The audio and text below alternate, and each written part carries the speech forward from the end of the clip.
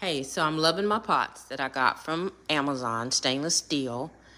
They have a couple of really great features. Inside the pot, you have the measurements for cups and ounces already in there for you.